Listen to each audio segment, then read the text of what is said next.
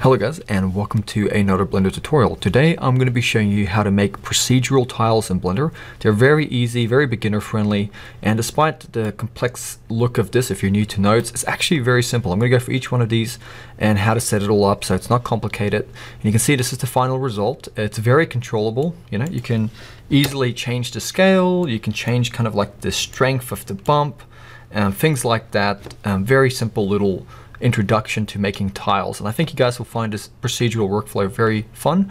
And if you want to use the shader ball here or this kind of simple setup I have here for if you want to follow along that way, you don't have to, but I am going to put a link in the description to where I did another tutorial on my channel. It's completely free where I quickly go through how to set up this little shader ball thing here.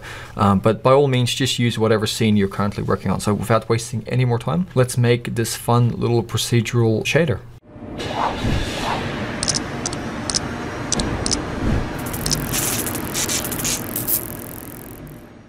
So when I'm making my material, I'm going to be using this shader ball here of some basic lights and a camera. And if you want to see how I made this shader ball setup, I'm going to put a link in the description where you can go check it out. It's really easy and quick to do. Um, other than that, if you just have a normal scene you want to work in, that's fine. This is something that I'm going to work with. Once again, link in the description below to that tutorial. So what we're going to do is we're going to make sure we are in our shading workspace. And obviously um, I'm in Cycles, that's what we're working with here. So make sure you're in the Cycles engine and, you know, have some lights and object you want to work with. So I'm just going to go into the rendered view here, right? So you can see I just have a blank object, could be anything. So I'm just going to click new to create a new material and let's call that material tile, okay, or tiles. So now we got a material. Now by default we have this principled BSDF shader. So let's just um, bring this um, workspace up a little bit so we have some more space. Now what we're going to be using to create our tiles or generate a tiles texture is what we call the brick texture. So if you hit Shift A and you go over to your search bar, you can type in brick, okay, sorry, brick, and you can click on brick texture. There you can see we have the brick texture. Now you might be thinking to yourself, well, why would I want to use a brick texture for tiles? And essentially it's just the name of the texture here, but the brick kind of the principle behind a brick, like the um, having some blocky things with specific dimensions and having some sort of fill or mortar in between that. It's the same kind of principle. So you can use a brick texture to make a tile texture or anything like that.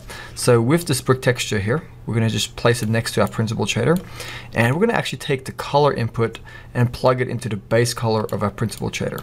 And now over here you can see you know, if we hit Z and make sure you're in rendered mode, you can see that it is making these kind of like brick, brick patterns. Now, one thing we can do to make it look more like tiles, which I get into a little while, is messing around with the, the width here, right? And also the mortar size and things like that. But at the moment, um, because I am applying this to a round object, I'm going to go Shift A. I'm going to search. I'm just going to get a texture coordinate. So I'm to type in texture coordinate and just click on texture coordinate.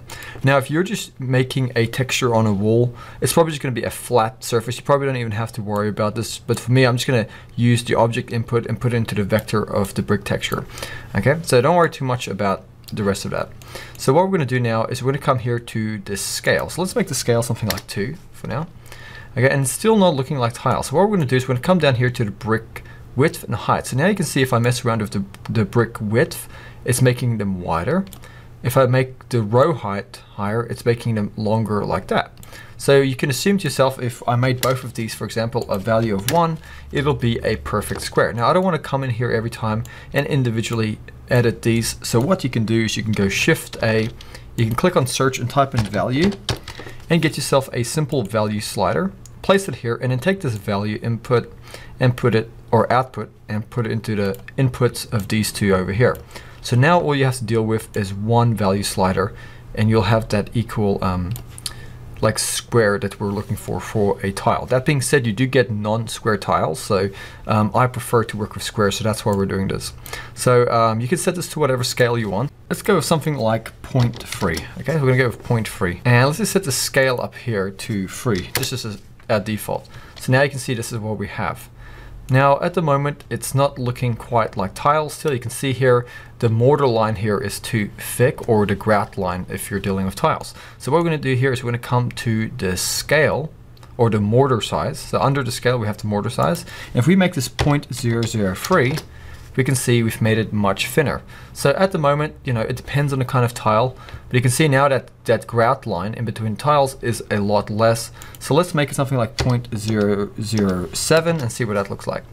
So I feel like 0.007 works for this sort of scale, but once again, it's something that you can edit and mess around with. So now that we have the actual tiles established and you know how it works, um, I'm going to explain these three colors. Now these three colors here are simple. We have color one and two. That's essentially the kind of like two colors it's using to kind of mix and distribute randomly across the tiles. So you can see it's either a white tile or a gray tile or a little bit of something in between across the grayscale. And um, then you can see here the mortar is simply just black and that's the mortar color. Now you could come here and adjust these colors, but I'm not gonna do it that way. I'm gonna show you how to use this with some color ramps and it gives us a bit more control. So now if we go Shift A and we click on search, we're going to type in color and we're going to get ourselves a color ramp node. Now we're going to place a color ramp node on this cable here. And what I'm going to do, I'm going to take the black here, which is going to be our darkest value here. It's just a mortar. And I'm going to make that slightly less on the value, a little bit lighter, and make it really blue. So it's kind of like a dark blue. I want to go completely black. Then I'm going to take the lightest value here, and I'm going to click on this color bar and I'm going to make mine kind of like a aqua blue like that. I kind of like that and then I'm going to click the plus button here one more time to add in another little tab here and I'm going to click on that color tab, I'm going to click on the color bar and this one I'm going to make something a little bit more oceanic, something like that. So this is kind of my color pattern, my color scheme for this. So you can see um, we have the light blue here, and then we have the darker blue here and everything in between. We have to, kind of this nice gradient here, which we can control and um, messing around with that can give you all sorts of different effects, but I'm just gonna leave it at that. Now what you don't wanna do is you don't wanna make this grout line too high, so keep that really, really low. Okay, so that's your mortar or your grout, whatever you wanna call it. So if that's done, now we have a tile. So you could come over here now to your principled shader now we have this nice texture established and bring your roughness amount down to make a glossy tile. Um, I would recommend not making it fully glossy, that's just too glossy. Um, go with something like 0.15, 12, I think is okay for this sort of thing. Now it still doesn't look like tile, it just kind of looks like plastic liner because it doesn't have any texture to it. So what we're gonna do is we're gonna go and define that grout line with some displacement. So we're gonna go Shift A, we're gonna click search, and we're gonna type in color, we're gonna get another color ramp. And this time we're gonna take the color output from our brick texture, plug it into the color ramp, and let's actually move it down here. And then we're gonna go Shift A, search, type in bump. Actually, we're not gonna need a bump just yet. Let's just actually put it back up here. We're gonna take the color output from this ramp and plug it into displacement. And now you can see we have this displacement, especially on the grout line. You can kind of see how it's displacing. It does make a difference. But at the moment, it's kind of pushing out and we want it to go inwards. So we're gonna use a math node. So we're gonna type in Shift A, search, and let's type in math. Click on the math node and let's place it on top of this cable here. So now this color ramp is feeding into this here. Let's just change that to a multiply. And now if we take this 0.5 value and make it point negative 5, it's now in a negative, or you can just drag it down. So just drag it down to around point negative 5 or point negative 6, and now you can see the, the um, grout line or the mortar line, if you will, is inverted inwards. It's into the negatives. And you can see what a difference it makes. If I zoom in here, you can see we now kind of have this like the light is getting caught on the edges of the tile here and it makes it kind of pop out a little bit more. But still, these tiles just look a little bit too perfect. They don't have that roughness with the different glazing. So what we're gonna do now is I'm gonna show you how to use a noise texture to make that look more realistic. So let's go Shift A, search, and just get a simple noise texture. So type in noise and get a noise texture. And let's just take the object uh, texture coordinate and just take the object output and put it into the vector of the noise texture here just to save on node so we don't have to get an extra node. And let's now go Shift A, search, and just type in color, get a color ramp. And let's just plug the color into the factor here of the color ramp. And let's take the scale for now and just make it something like 70. Okay, so now we have this here. And if we go Shift A and we click search and we get ourselves a bump node, so type in bump, get the bump node, we can take the normal output of that bump and plug it into the normal of our principled. And now we can take this black and white information from our color ramp and plug it into the height. And now we got some um, bump happening here. You can see that, but it's too much. So let's come to the strength and make it 0.04.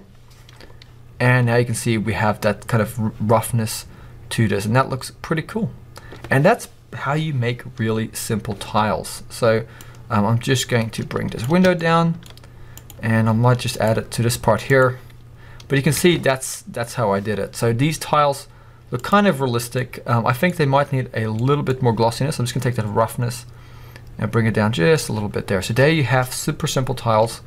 And all you have to do now, if you want to uh, control things, all you have to do is come here to this value slider and you can change the scale at any time. And you can also come here to your bump or the strength here on the bump and you can mess around with that as well. And also the scale of that noise as well. So that is a very simple tile material. I'm just gonna quickly render and see what that looks like. And there we have it. That is the final rendered tiles and they look pretty good. I hope you guys are able to use these tiles in a project. It's probably gonna be something like a bathroom or a kitchen, something more with architecture or interior. But if you do um, find it useful, definitely um, um, make some more of these materials and you know I encourage procedural workflows if you're into that sort of thing. And um, I will be making this material available on my Patreon so you can check that in the description below. And if you want to learn some other things that are not related to materials like characters and things you can go check out my channel. I got a lot of really cool free content on there for you guys um, that teach all sorts of things related to Blender and 3D graphics. I'll see you guys next time and thank you for watching